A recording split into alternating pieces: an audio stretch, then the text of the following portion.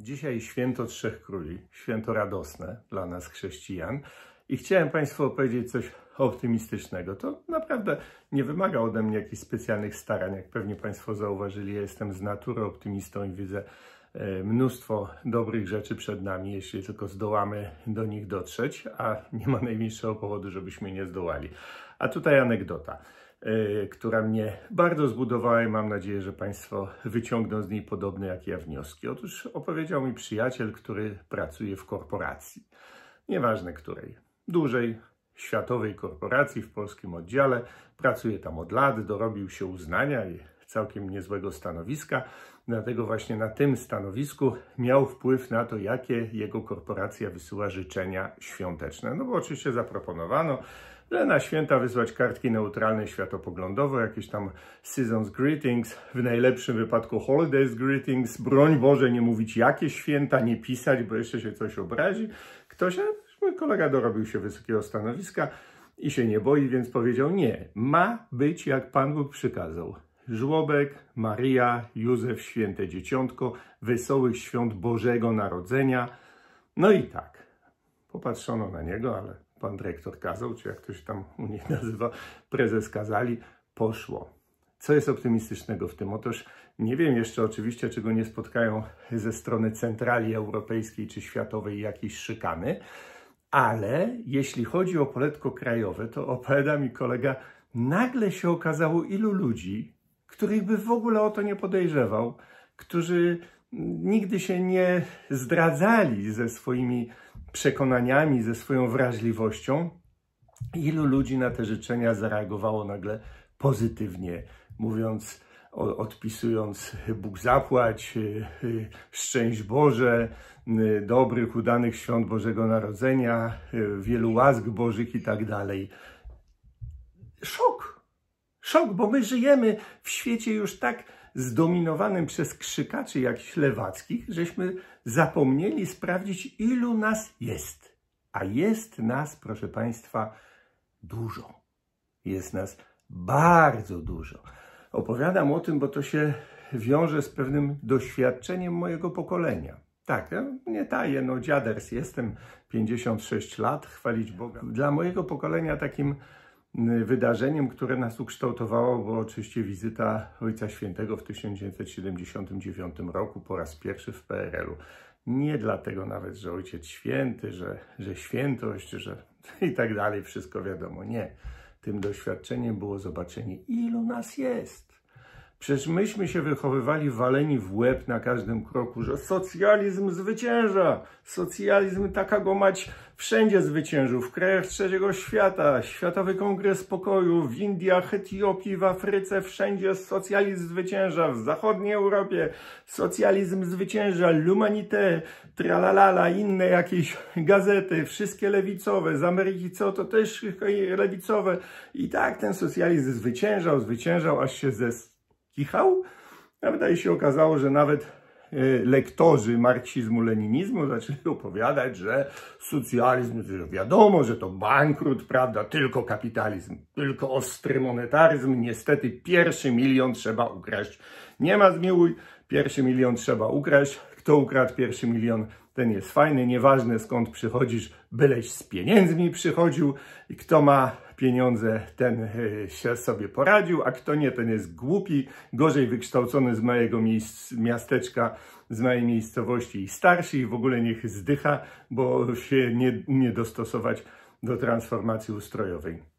15-20 lat minęło i co się dzieje? Sam Jeffrey Sachs książkę napisał, w której przeprasza za ten monetaryzm. Tłumaczy się, że oni dobrze chcieli, że y, porównuje się do tych chirurgów z XVIII wieku, którzy y, operowali, w sumie dobrze operowali, tylko pacjenci um, umierali, no bo oni jeszcze nie wiedzieli, że są bakterie, że te narzędzia przed operacją i pacjenta należałoby zdezynfekować, ale chcieli dobrze i oni też tak chcieli dobrze w 90 roku z tą terapią szokową, no ale nie wiedzieli, że to tamto, siamto i owamto i to niestety przyniosło więcej szkody niż pożytku. Jeden Balcerowicz dzisiaj został jak Himmliszbach z angielskim, który się upiera, że ta transformacja była świetna. No ale może na jego miejscu też bym się upierał, bo cóż może człowiek innego zrobić. cały czas rośliśmy w jakimś bombardowaniu tym, że to już jest wszystko przesądzone, cały świat idzie w tym kierunku, wszystko wiadomo. I teraz też jesteśmy bombardowani, że gdzie tam Polska traci wszystkich sojuszników, nie ma już Trumpa, tylko Orban został. Musimy po prostu, musimy się sekularyzować, musimy przestać do kościoła chodzić, jak w Hiszpanii, jak w Irlandii, bo nie ma inaczej. A ja powiem na to takiego.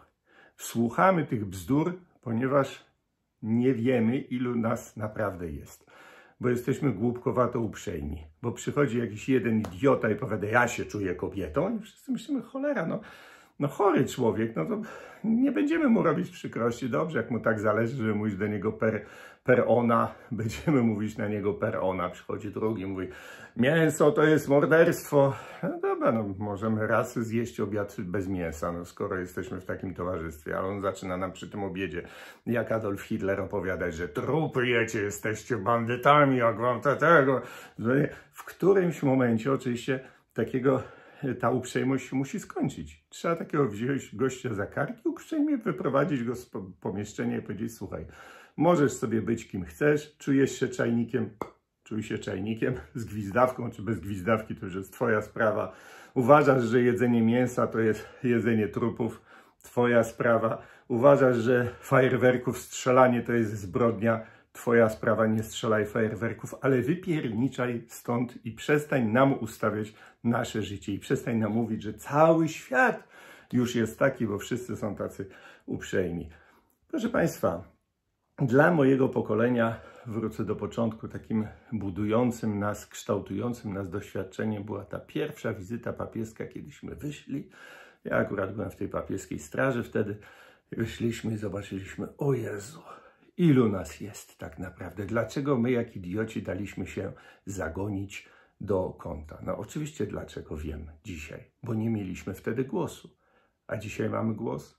Wolne media są niby, tak? Dziennikarze, Związek Dziennikarzy Niemieckich się troszczy o wolność mediów w Polsce. Ale wolność nie, mediów w Niemczech, Francji, Hiszpanii, Wielkiej Brytanii jest taka, że wiadomo, że około połowy społeczeństwa nie zgadza się z obecnymi porządkami, z aborcją, z twierdzeniem, że homo konkubinaty to jest to samo co małżeństwo, z różnymi innymi rzeczami, skończywszy na przykład na wspólnej walucie euro, ale w żadnej gazecie, w żadnej telewizji, w żadnym medium wielkim ten głos się nie przebija. Oni nie mają głosu, tak jak myśmy w PRL-u. Głosu nie mieli. Nie wolno o tym mówić.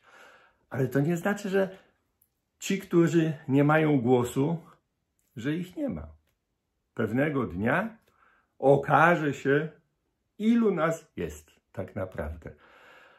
Wydaje mi się, że ta historia ze świątecznymi życzeniami jest drobnym tylko przykładzikiem takiego zdarzenia i drobną iskierką nadziei, która niechaj błyszczy, niechaj trwa. Kochani, jest nas dużo, dużo więcej. I to nieważne, że w tej chwili przez głupkowatą uprzejmość czy z innych powodów pozwalamy się zakrzyczeć grupce wariatów, którzy twierdzą, że oni świat do, do góry nogami wywrócą. W pewnym momencie zobaczymy, ilu nas jest i nie pozwolimy im tego świata naszego do góry nogami wywrócić.